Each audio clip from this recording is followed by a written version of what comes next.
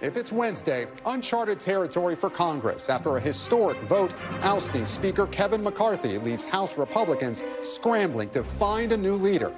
The government's ability to function and desperately needed aid to Ukraine hanging in the balance.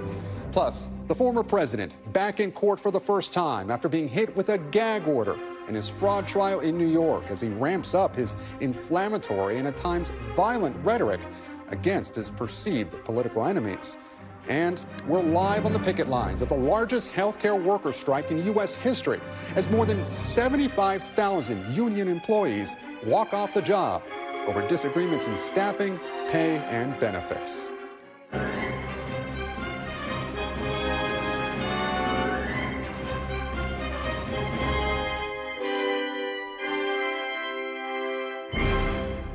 Welcome to Meet the Press Now. I'm Gabe Gutierrez reporting in Washington, where the biggest question hanging over everything is what now? For the first time in American history, lawmakers on Capitol Hill are facing the fallout of a House Speaker's ouster instigated by members of his own party, leaving an entire branch of government effectively paralyzed. For how long? We have no idea, because right now it is unclear who can lead this House or what that leadership would even look like. Speaker pro tem Patrick McHenry, who is effectively serving as the acting House Speaker right now, has told the Republican conference that they will hold a behind closed doors vote to choose their candidate to be the new Speaker one week from today.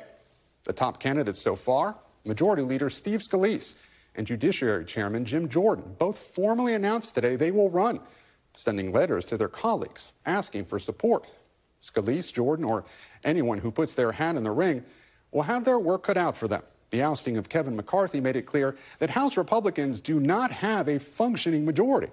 And there is plenty of animosity with the group of eight Republicans who lit the fuse on yesterday's vote. I think before we have a single discussion about Speaker, we've got to discuss the functionality of the position. If we're going to continue to have clowns like Matt Gaetz as part of the Republican conference, as part of this Congress, then you're going to have to have rules in place that prevent him from doing his charade every single week, uh, every single month. Where look, the reality is is that Patrick McHenry could be in a scenario where he's in this position for an extended period. They don't get to say they're conservative because they're angry and they're chaotic. That's not the party I belong to. The party of Reagan was if you believed in your principles that you could govern in a conservative way. They are not conservatives and they do not have the right to have the title. It is hard to see how this chaos in the House gets better before it gets worse. Having just flexed their muscles, Republican hardliners will surely want to back a speaker who gives them more power, not less, which doesn't bode well for picking a speaker or governing with another government shutdown approaching and the White House trying to get Congress to fast track much needed aid for Ukraine. In fact, Jim Jordan already has said that if he's Speaker, reining in government spending will be his priority, not Ukraine. It all leaves Congress, our federal government, and our democracy in uncharted territory. Joining me now with the latest on Capitol Hill is NBC's Ali Vitale. And Ali, the biggest question for the House is what happens now? McCarthy has said he won't run for Speaker again, and Jim Jordan and Steve Scalise have officially tossed their hat into the ring. But what does the timeline look like, and could it shift? It feels like this question is the one that we've been asking for about two weeks now. What happens next? Because at each turn of this, it brings us deeper into uncharted territory. And certainly that's where we are now with the ousting of Speaker McCarthy, the idea that last night he pulled himself out of contention for future Speaker votes. And now we're watching the rest of the field emerge. In an official capacity, we know that there are at least two men vying for the top spot atop the Republican conference. That's Jim Jordan and Steve Scalise. I caught up with both of them this morning. They're both trying to make their pitch to their colleagues, at least those that are still in town. Both of them, for example, stopped by the Texas delegation's lunch this morning, tried to make their pitch there. Someone else who's clearly mulling a bid is Kevin Hern, the head of the Republican Study Committee. It's a name that we heard one or two times during the 15 balloting rounds that ultimately elected McCarthy earlier this year. He's someone, though, who is not yet officially in. I asked him if he would be filing a letter and making it official with his conference. He really dodged dodged on that one, just making clear that he's listening and talking to other members. But this is what it looks like right now. This is the jockeying behind the scenes. It's a lot of meetings, a lot of phone calls, a lot of trying to get an unofficial whip count and test the waters of who might be able to actually get to that magic number of 218 or however many people are actually in the chamber. That's going to be a tall order, frankly, for almost anybody each of these people we've already talked about have their own problems on a numbers game if I'm looking within different parts of this conference. And that's nothing to say of what got us in this situation in the first place, which is the rules package that McCarthy agreed to way back in January, specifically the one person threshold on a motion to vacate. I have heard from members on both the Democratic and Republican sides, Gabe, who tell me that they desperately want to see a change to that rule so that this place can get back to governing without the constant threat of someone shutting down the speaker if he or she does something that they don't like. So, Ali, uh, Congressman McHenry is the acting speaker in the meantime, right? How, how long can he remain in that position, and what are the limitations of his role? He really can't do much. He can just preside over the vote, right?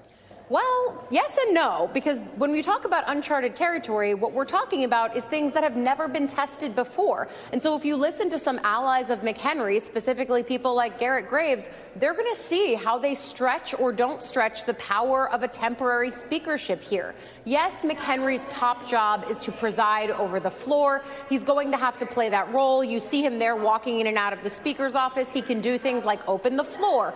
All of those are the basic procedural and traditional motions of what you would do as speaker. But because this has never been tested before, we'll have to see the ways in which he has leverage and power over bringing bills to the floor, how the floor functions. All of this is very untested. And so we'll see if, if, if McHenry makes history by doing anything in this role that no one has ever done before. And no one can say, hey, that's not how it works, because we don't actually know. And Ali, have there been any discussions about possible repercussions for, for Matt Gaetz? Is there a lot of anger in the Republican con conference? a lot of frustration at Matt Gaetz and, frankly, the others who voted along with him and the Democrats to oust McCarthy from his speakership. As far as Gaetz goes, I asked him about the possibility of expulsion yesterday. And what we're talking about when we say expulsion is not expulsion from Congress, but expulsion from the House Republican Conference. Basically saying, hey, Matt Gaetz, you can't sit with us at lunch anymore, and we're not going to help you get onto your committees. That's something that's an active discussion. You'd need two thirds of the conference to actually do that. I have to tell you from my text messages and conversations yesterday with Republican lawmakers, seems pretty clear that they would probably have the two thirds of people to do that. Gaetz was well aware when I talked to him yesterday about this, and he basically said, you got to do what you got to do. Ali Vitale, a long couple days for you on Capitol yeah. Hill. Ali, thank you. Thanks. And joining me now is Arkansas Republican Congressman Steve Womack. He presided over the House yesterday during that historic motion to vacate the speakership. And Congressman, take me back to that moment when that gavel came down. What was going through your head? Well, first of all, I spent some time with the parliamentarian before I ever took the chair just to kind of go over the and war game, if you will, the, the potential options that could come out of yesterday's unprecedented, uh, very highly charged emotional uh, gathering. So I was prepared for that, and frankly, I wasn't thinking about outcomes at the time. I was just making sure that the integrity of the House of Representatives was preserved. And I think we did that yesterday. We managed the floor in such a way that it didn't get terribly emotional. There were no other outbursts uh, that were totally out of the out of the picture, and we were able to execute the the, the process in such a way, uh, the outcome being what it was, that the integrity of that chamber was protected yesterday. That was job one for me, and I think we passed that test. And Congressman, speaking about that uh, that answer, picking up on that answer, you were speaking about that responsibility to the Wall Street Journal yesterday, and you said, "quote I didn't want anything to happen that would put a stain on the institution." From a strictly process standpoint, which you just uh, alluded to. You previously called yourself an institution guy. Do you still have faith in the institution? I do. I do. I ne- I'll never give up on the institution. Look, we've been through a lot of things as a country down through the years. Uh, the, the events of yesterday certainly unprecedented, but remember, we've been through periods of time when we fought a civil war. I mean, an actual civil war, you know, and and we've been through all kinds of other uh, fits and starts as a country. That's what happens to young democracies, and ours is still, you know, pretty relatively young. Uh, but and, you, you're going to have experiences like this. But let me tell you, the the bedrock foundation of what we're able to do as a country rests with what happens right across the street here at that Capitol.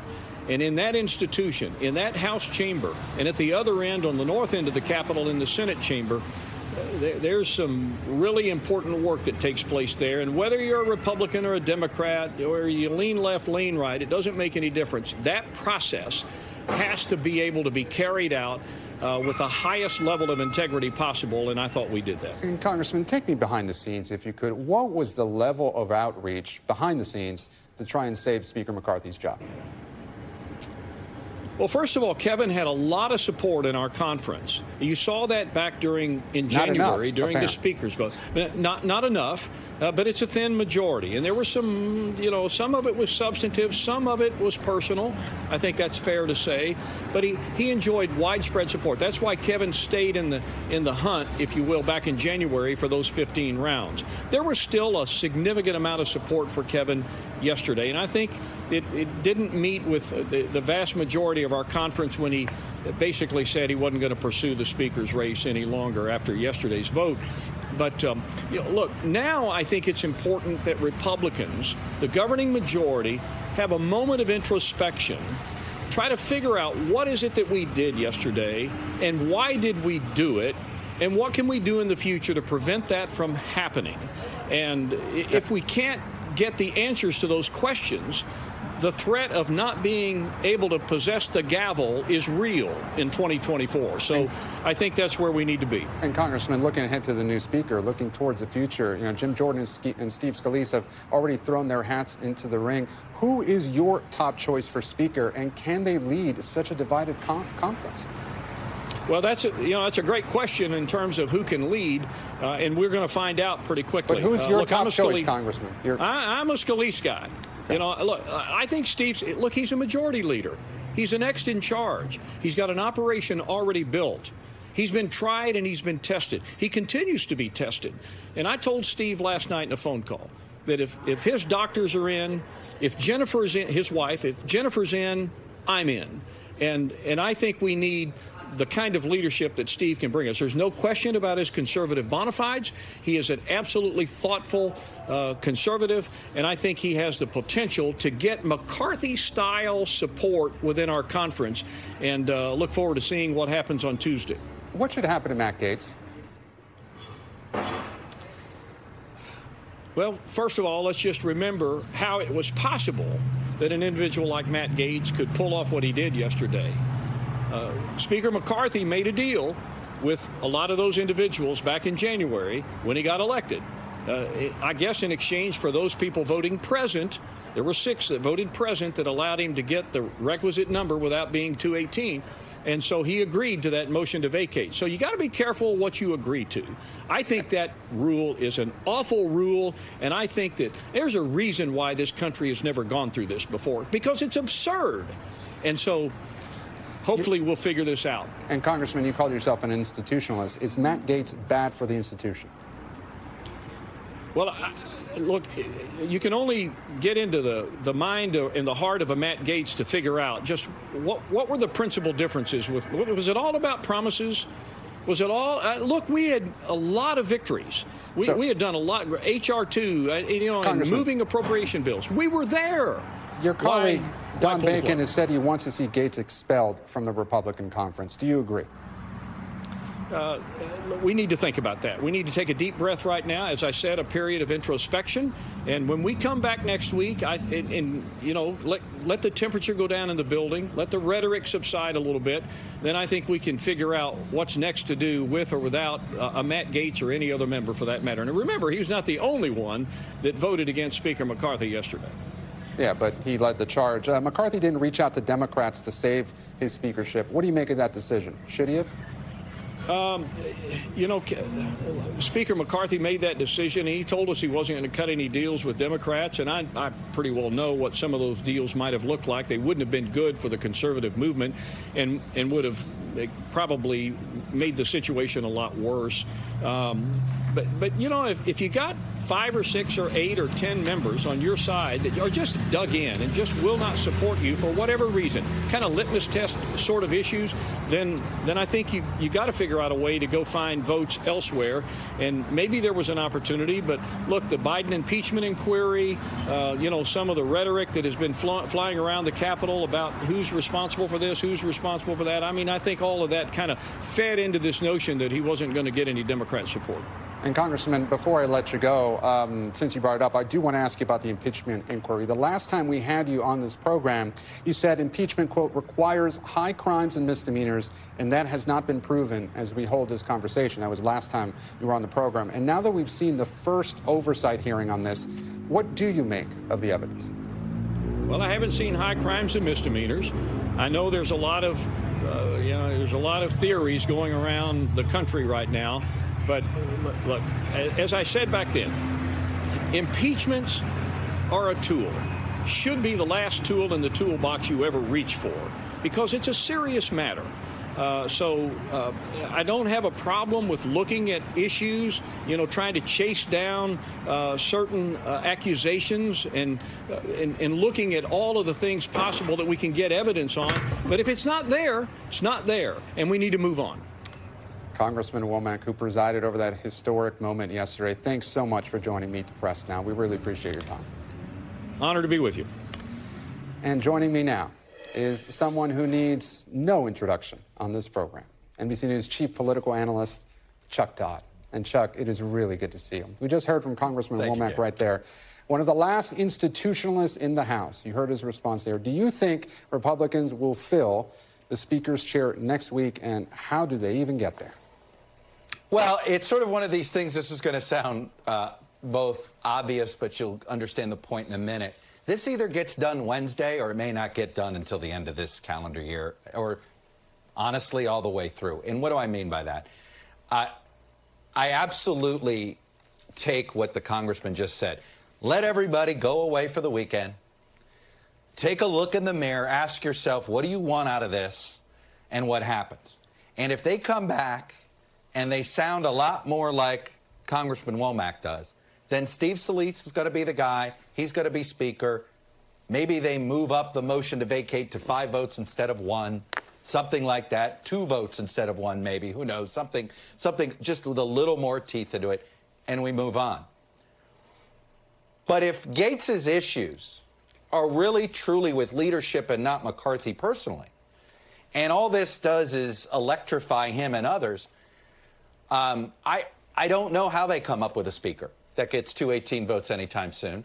And if they can find a way to allow this no man's land where you sort of have a semi speaker here with mm-hmm. McHenry, I think some of the people like Matt Gaetz would love that because it's a powerless speaker, which is kind of what they want right now. So, and Chuck, because you're so good at this, I, I want you to take us through the historical context here. Are Gaetz and his allies essentially fighting the same fight that took down John Boehner? Well, I get it's obviously this feels like it's related. Um, you know, this was all building. This was Tea Party. It's, you could go back to then um, and, and, say sort of that was sort of the beginning of where this splinter happened, right? This took Boehner out. You know, that was the group that took Boehner out. This was all pre-Trump, don't forget. Then Trump comes in and it sort of creates a, a it's a similar group of people, not all the same, but a similar group. Um, and, and, so, in that sense, um, you know, they're first cousins or, or, or, even siblings if, if we're doing these comparisons to what Boehner went through, what Ryan went through, and then, of course, where we are now. But I also think we cannot overestimate Kevin McCarthy here, or, or um, I don't want to underplay his unique uh, ability to mess this up, right? It, it, I, you know, he didn't he bragged about the fact that he yeah. decided to lead every day as today, and whatever is tomorrow is tomorrow. He was such an ends justify the means. He actually doesn't. I mean, the problem McCarthy had, I think, in, in having any credibility with either a handful of Democrats to save him or even with, with some inside his own conference is one of the core critiques Gaetz has made of McCarthy is hey, he tells everybody what they want to hear in that moment, right? He cuts the deal with Biden. He cuts the deal with Gaetz. He cuts the deal. he was going to have to let somebody down, right? He couldn't keep every promise. And he obviously thought he could marginalize that far right wing. Uh, that if he, you know, got enough wins, that it would be able to and, to, to, marginalize and it, and that didn't work. I don't know how this works. I don't know who else can do this. That's the other aspect of this. On that point, Chuck, uh, what do you think McCarthy's legacy is going to be? I, you know, the, I, I, it's not a great legacy. Um, I think it'll, it, it will age well in the short term because he'll look like a statesman compared to perhaps the chaos that might follow him. But long term, I mean, you know, he created this mess. Congressman Womack sort of hinted at it. Be careful of the deals you cut, mm-hmm. right? McCarthy's the one that cut the deal to get it down to one vote to essentially hand Gaetz. um, uh, a lightsaber to kill him at any point in time. And, and that's exactly what happened. So, you know, what I don't get with McCarthy is, is that he didn't have a plan to figure out how, eh, you know, here's a guy at Womack, is, he's, he's being honest here. You're going to have to find votes somewhere if you have such a slim majority. So you're going to have to figure out. He's yeah. somebody that has, can count, and he knows that the Democrats control the Senate and the Democrats control the White House. The House Republicans only have so much power, right? They don't have um, as much power as some of these far right folks think they have. And so, but I, I, that doesn't mean just because it's rational and logical doesn't mean it'll happen. That's the biggest takeaway I think that you got to remember about this far right faction. The chaos is the feature. Chuck Todd, NBC's chief political analyst. Chuck, great to see you. Thank you. You got it, bud. Thanks. Kate. And coming up, consequences and collateral damage. President Biden and senators are sounding the alarm about the war in Ukraine as desperately needed aid is held up amid the chaos and dysfunction on Capitol Hill. My one on one interview with a Senate Democrat is next. You're watching Meet the Press Now.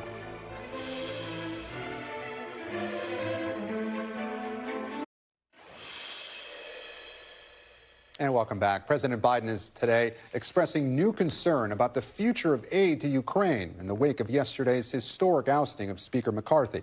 Ukraine aid was already stripped from the stopgap bill to avert a government shutdown, and now the White House is worried that aid will become collateral damage amid the chaos on Capitol Hill.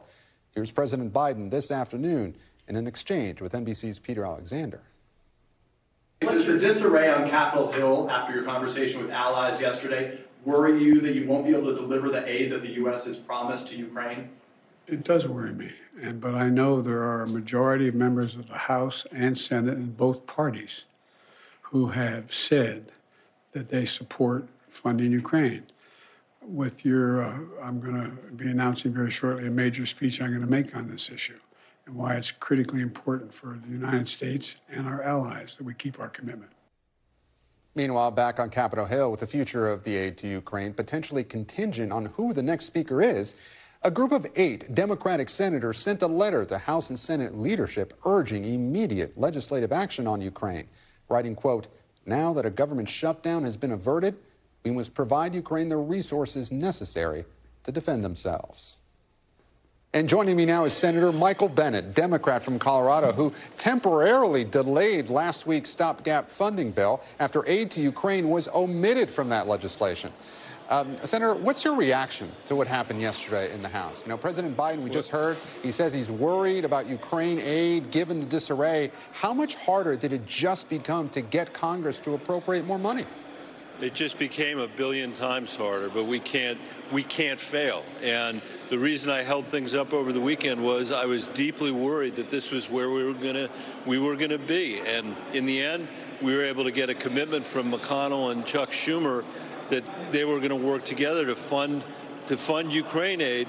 Obviously, there was nothing I could do about McCarthy, and now we've got people running for Speaker of the House that are saying they're not going to fund a single dollar of Ukraine aid. How these people could be for, you know, 20 more years of war in Afghanistan and not fund you know, the Ukrainian people at this moment when democracy truly is on the line, I, I don't understand. And I hope over the, the next 45 days, we're going to be able to get to a place where broad bipartisan votes are happening in both the Senate and the House to fund Ukraine. And Senator, I know you're in the Senate, but Chuck Schumer just warned that whoever the next speaker is about coddling the hard right. So how concerned are you that the next speaker will be so much more difficult to work with? I think that it would be a disaster if the next speaker plays uses McCarthy's playbook. You know, it is so obvious to everybody who's looking at this that uh, he sowed the seeds of his own destruction when he made the deals that he did with the hard right part of his caucus, going back to those 15 votes when he couldn't get, even get the votes to become speaker. And then he would go up to the well and get one, you know, make one more concession and one more concession after that and one more concession after that. We now know, but unfortunately, this isn't a tragedy just for Speaker McCarthy. It's a tragedy for the American people because we need a functional government. The world needs a functional government.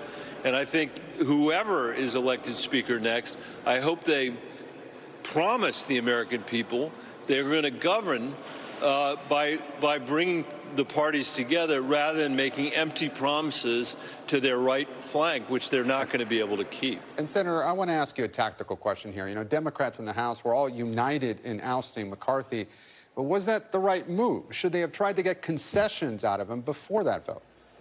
I'm not going to second guess that. I, I, I, do think that it is really important when you think about things like funding for Ukraine that this can't be done just with a hope or a prayer. You know, you have to make sure that we have commitments that are actually worth something. And I tried to do that in the Senate. We're going to have to try to figure out how to do that in the House. As I said earlier, we can't fail. This decision is beyond politics. Zelensky was here. He told us if we don't fund them, they're going to lose this war. The Russians are about to start a counteroffensive.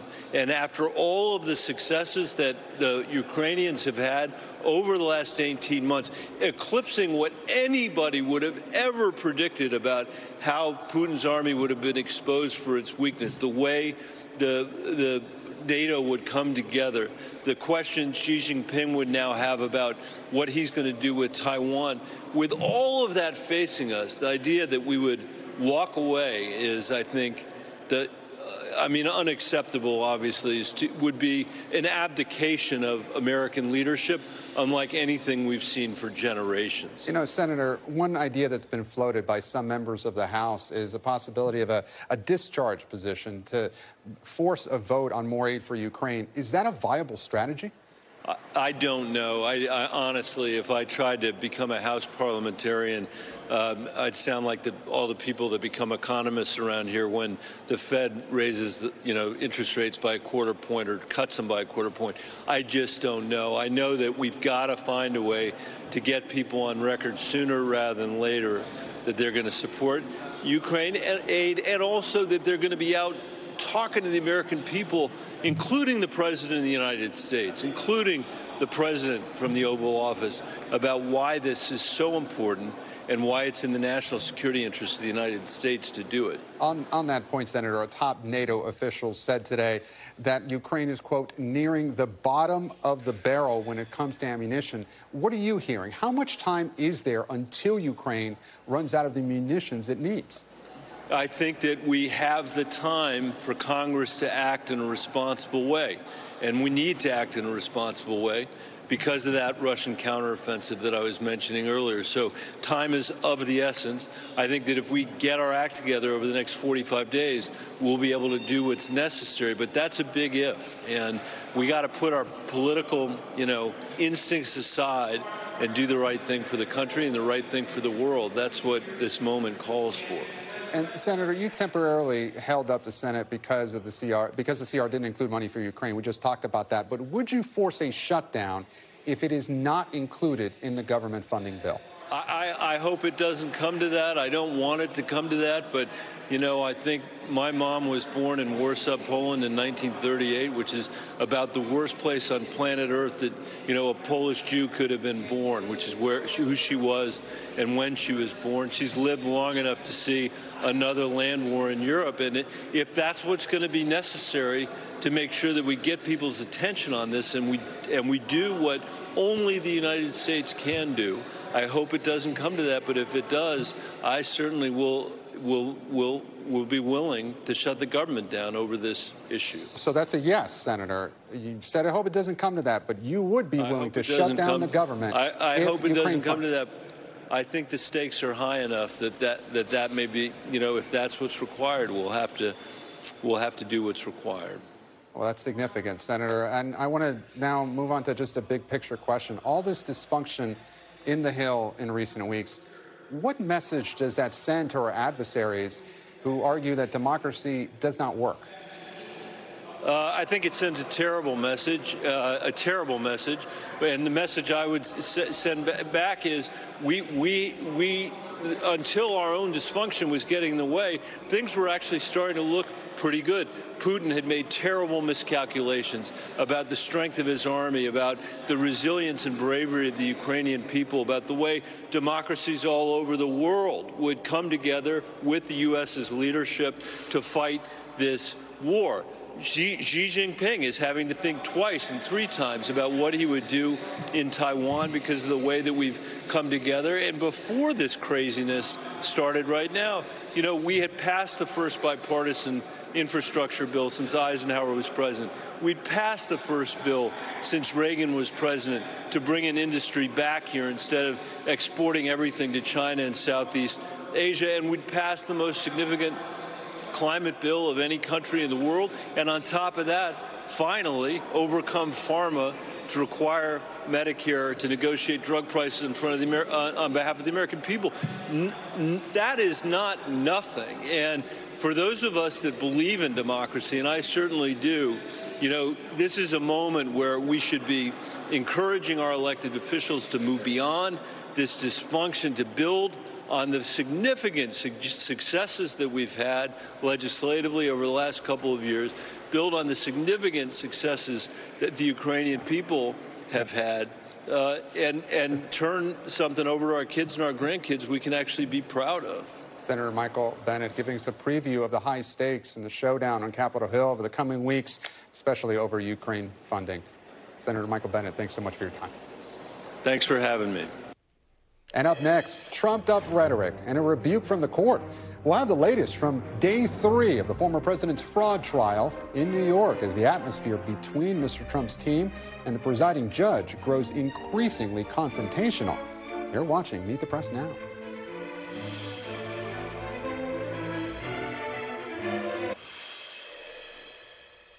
And welcome back. Donald Trump, once again, inside a Manhattan courtroom for day three of the civil fraud trial brought by New York Attorney General Letitia James against him, two of his sons, and his company. This comes a day after the judge presiding over the trial imposed a limited gag order against the former president after he attacked a member of the judge's staff. Despite that order, Mr. Trump has continued to lash out at New York Attorney General Letitia James, calling the $250 million lawsuit politically motivated.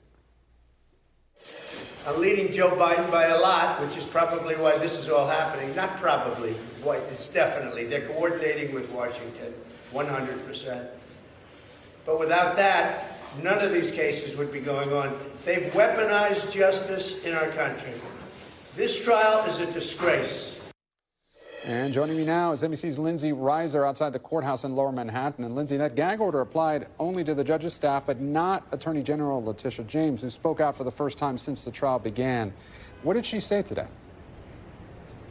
Well, the former president has called James deranged. He's called her a derogatory term. Today, he called her a political animal. And today, the attorney general stepped inside of cameras, in front of cameras, and this is what she said. Trump's comments were offensive, they were baseless, they were void of any facts and or any evidence, and comments, unfortunately, that appeals to the bottom of our humanity. This case was brought simply because it was a case where individuals have engaged in a pattern and practice of fraud, and I will not sit idly by and allow anyone to subvert the law. And lastly, I will not be bullied. And so Mr. Trump is no longer here. The Donald Trump show is over. This was nothing more than a political stunt.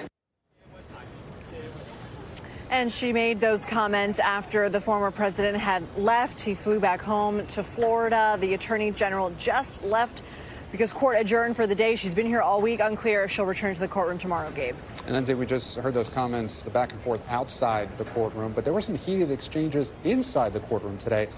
What happened?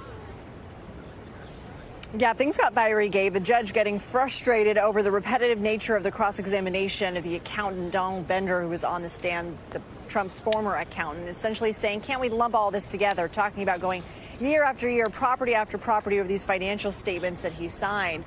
Uh, the judge at one point getting very frustrated and even yelling uh, uh, something like, this is, uh, uh, yelling, this is ridiculous and pounding the bench. But Chris Kise, the former president's attorney, saying this was the CPA. He didn't meet those standards. He only seems to recall what the government seems to recall and saying this is the time to defend ourselves. Now, Trump, during that whole time, was shaking his head. The video that we were just watching was actually before proceedings began, but our reporter and producer inside tell us he was shaking his hand, at one point lifting his arms up in the air and saying he couldn't hear Bender, and then Bender appeared to speak a little bit more loudly into the mic. Uh, but also, interestingly, Gabe, uh, before things adjourned for the day. Uh, the witness who was on the stand was actually the second witness. Uh, he testified for the first time about Eric and Donald Jr. during this trial, that they had signed off on some of these financial statements in 2021, introducing them. Of course, they are defendants in this case as well. And then it's a little confusing, but then we went back to Bender for more cross examination, which Gabe is expected to continue into tomorrow. Not every day, Lindsey, that you hear of a judge pounding the bench like that. Lindsey Reiser live for us in Lower Manhattan. Lindsey, thank you. And after the break, dysfunction in D.C., conflicts in the courtroom, and the House at a standstill. We're digging deeper into the perilous state of U.S. politics. The panel is next. You're watching Meet the Press now. Stay with us.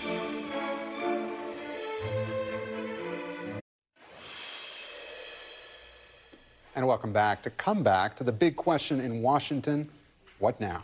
One week before House Republicans try to select their new leader, and a little more than five weeks before we face another deadline to avoid a government shutdown. I'm joined now by the panel Julia Manchester, national political reporter for The Hill, Maria Teresa Kumar, president and CEO of Voto Latino and an NBC News contributor, and Stephen Hayes, editor and CEO of The Dispatch, and also an NBC News contributor. Thank you so much for joining us here on Meet the Press Now. All right, and Julie, I want to start with you. How do Republicans get anything done uh, without a, vo- a working majority here? What is next here? Yeah, what is next is obviously figuring out who the next speaker is. And we know that Jim Jordan and Steve Scalise have both thrown their hats in the ring. I think the issue there, though, is that with Jim Jordan, you have a really good fundraiser. But he puts in a way, or could put, the moderates uh, that are up for reelection next year at risk because we know that he is very much a hardline conservative. For Steve Scalise, very popular among the conference, but we know that he's been dealing with his own health problems, blood cancer, and such. So there's a lot of questions about what this looks like going forward and what un- unifying the conference looks like. I'm curious, five years ago, did you ever think that Jim Jordan would be entertained as a possible House Speaker? Absolutely not. And five years ago, I would never think that Matt Gaetz would have gotten the power he's, right. you know, He took accumulated. down the House Speaker. Yes, and to take down someone like Kevin McCarthy, that was pretty um, incredible to watch. Maria Teresa, how big of a risk was it for Democrats to let Kevin McCarthy be ousted? Now, I know he didn't do himself any favors by going on the Sunday shows and essentially traffic, trashing Democrats, so it would have been very awkward to then ask for their help.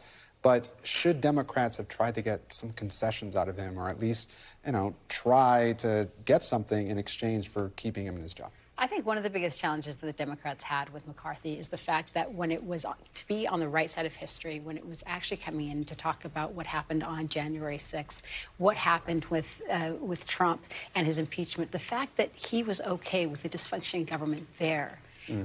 That I think is where people are saying the erosion of his trust in his leadership and his understanding of what little d democracy means. That's what happened with the Democrats at the end of the day. But what happens if they get even more of a hardliner? Scalise, Jordan? I think. I mean, I think if anything, they're going to be able to demonstrate to the American people that the chaos right now in Congress is coming from one party, and it's coming from a dysfunctional government from that's run by the Republicans. And I think we have to also remember that you had Speaker Pelosi. She only had four votes, Mm. yet she knew how to govern. Right, She she knew how to bring people kept them in line. together. And so, clear. and so, I think that it's it's recognizing the contrast of do we believe in the institutions and how do we respect them. Um, the White House is, you know, has been taking a hands-off approach here, um, and trying not to get involved and trying to establish this split screen, right? Trying to show what President Biden is doing for the country. Um, should they have gotten more involved in, in, in any way? Like, is how, how does the White House play into all this? I think it's one of the biggest challenges because they want a functioning government. And I think what he's been able to do is go around the country explaining what his policies are and his wins. I mean, today he was able to announce that he's giving another $9 billion mm-hmm. in student loan forgiveness. He has that bully pulpit. The other part is get your, part, get your party, the GOP, in line so that we can be functioning. Nancy Pelosi didn't have this whole motion to vacate issue. You know, going forward, is it possible, Stephen, that the Congress or the House still has this ability for one member to basically throw a firebomb into the, into the whole institution. You know, I mean, you're certainly going to see the hardliners push to retain it. I think um, what's what happened yesterday was predictable. I mean, when, when remember during the speaker fight, during those 15 votes people raised this issue of the motion to vacate and what a, a, problem it potentially would be. So we knew it was coming. I think the people who are sort of in this to, you know, metaphorically burn the place down, they don't care. This is, a, this is valuable to them. President Biden today talked about bipartisanship as one of his favorite topics. He talked about it last week at the speech I attended in Phoenix, uh, you know, talking about uh, announcing a new library for uh, John McCain or funding for it. But with these events, is bipartisanship officially dead? Yeah, I mean, I'm not sure it was very much alive before these these events. Um, if you look back at the last three years, and look, I, I, have to say, I think Joe Biden deserves some blame for that. You know, he came in as the guy who was going to return this this place to normal, and he gave speeches suggesting that people who disagreed with him on voting rights were akin to 1960s era racist. He's, he has fueled this a number of times. And I would say in the passage of legislation, even good faith Republicans who went to work with him he sort of showed them the back of the hand on things like COVID relief, on things like um, the original infrastructure bills. But having said that, I don't want to. I can't stop there. no, I mean, look, Republicans. Republicans have been. About that I would, I would actually park that and actually say that his one of the things that makes Joe Biden so unique mm-hmm. for the moment is that he understands how government works. He understands how to pick up the phone. He knows how to actually bridge bipartisanship. And while he may be having his rhetoric, you look at his policies, and the reason that you have an infrastructure boom, the reason we've been able to stave off an economic demise is because he brought bipartisanship in some of his signature legislation. And now Republicans are owning that signature legislation as if all of them had signed for it. In some cases, many of them didn't. But does he understand how politics work, you know, 20 or 30 years ago? Is this, mm-hmm. there this nostalgia for the way things used to be, this more bipartisan era, the, the good old days? But, you know, Matt Gaetz, he, I mean, he, I mean, Joe Biden. At the end of the day, he's from Scranton, Pennsylvania. He mm-hmm. knows how to get into the mud. He knows how to be do bare bottle, mm-hmm. uh, bare knuckle politics. But he also recognizes that he doesn't need all of the GOP. Mm-hmm. He just needs a few of them. So they, especially the ones that are in vulnerable districts, because they need to have something to show back at the end of the day to their constituencies. Julia, do you think that's where the electorate is now? You know, look, in terms of the electorate, I think what we saw yesterday is very much a direct result of polarization, particularly in the House. You know, we talk about Joe Biden's experience in Washington. Joe Biden is an alum of the Senate. Mitch McConnell obviously served with Joe Biden. Biden. But when it comes to the House, we've seen the House just grow increasingly, increasingly polarized in these districts due to redistricting, a number of different factors. And I don't think Joe Biden, or really even Senate Republicans, for example, are necessarily prepared or understand how to handle this. You know, it's not just the vote for speaker coming up next week. A couple of weeks after that, we have this whole funding debate, another potential government shutdown. Just today, uh, earlier in this program, we spoke to Senator Michael Bennet, who said that he is willing to force a government shutdown over the issue of Ukraine funding. How troubling is it that we have all these weighty issues coming up? And look, it's one thing for the Republicans might, you know, force government shutdown, but for Senator Bennet and potentially others, some Democrats, they view the issue of Ukraine funding as worth it to shut down the government. It's, it's that important to them. Yeah, and I would say I don't think Republicans in the Senate would go that far, but Republicans in the Senate, including Mitch McConnell, have been very vocal about how they want uh, funding for Ukraine and how they're united with Democrats on it. This once again goes back to the GOP House conference and the divide there when it comes to uh, support for Ukraine. Stephen, I want to turn to some sound from former President Trump. He just weighed in on the speaker fight this morning. Uh, let's play some of that. All I can say is we'll do whatever is best for the country and for the Republican Party. My focus is totally on that. If I can help them during the process, I would do it. But we have some great people in the Republican Party that could do a great job as Speaker. Stephen, former president, did not step in and save Kevin McCarthy. Will the next speaker need his seal of approval? I mean, look, he, he's not going to be the person to save anything. And it's ironic to hear him talking about how much he loves the Republican Party when several times within the past few days he's trashed the Republican Party and its, its prominent leaders. Look, Donald Trump, I think, bears a lot of responsibility for what we saw here over the past few days because he has elevated these kind of candidates uh, along with Kevin McCarthy, these kind of members of Congress who have done the kinds of things that they did over the last 48 hours, responding to the incentives that Donald Trump helped create. So I don't think he's going to be a solution to much. Uh, returning last question, I wanted to turn to 2024 really quickly. You know, where are we right now with, you know, uh, Ron DeSantis sliding down the polls? Nikki Haley seems to be having a moment. I know the debate, the next debate is quite a bit ways off. There's now talk about DeSantis and Haley uh, going for, for donors, for those same donors. Maria Teresa, what, where do we go next on this? Uh, is it, does, it, does GOP field even matter in the 2024 race right Grab now? the popcorn. I think one of the things is that most Americans are so turned off by what the, the antics that they're witnessing when they do turn on the debates that I think everybody's waiting for something to settle. And even though Haley is now surpassing DeSantis, it's not enough to all of a sudden say that she is the heir apparent after Donald Trump. So I would just say that we pace ourselves and see what happens. We've never been here before. And I think that most people who are political animals, we love to yeah. watch these political debates. But I have to tell you, watching it with my, my two kids, mm-hmm. I had to explain things to him them and apologize in a way that made me uncomfortable as a parent showing this spectacle to them. That was tough. Dif- difficult topics to talk about with your yeah. kids these days. So Maria Teresa Kumar, Stephen Hayes, and Julia Manchester, thank you so much for joining us here on the panel. And still to come, the largest healthcare worker strike in history is now underway. We're live on the picket lines with the latest next. You're watching Meet the Press Now.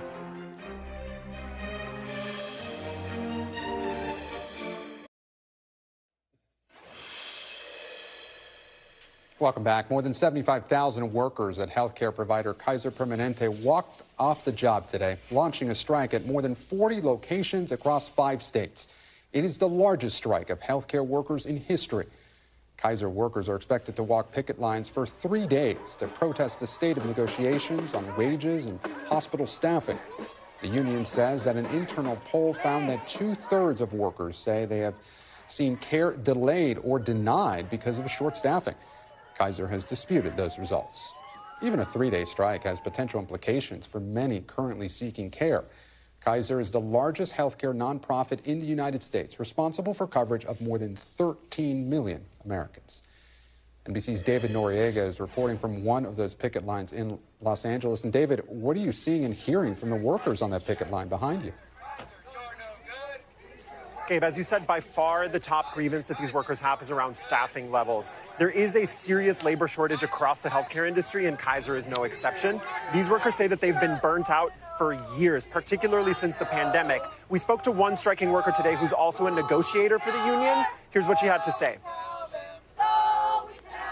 in the negotiations for the last two weeks, we haven't had a break day and night, one o'clock in the morning, three o'clock in the morning, and we are asking the Kaiser executives come to the table. I'm physically, mentally tired. I'm tired of seeing a, a short staffing hospital.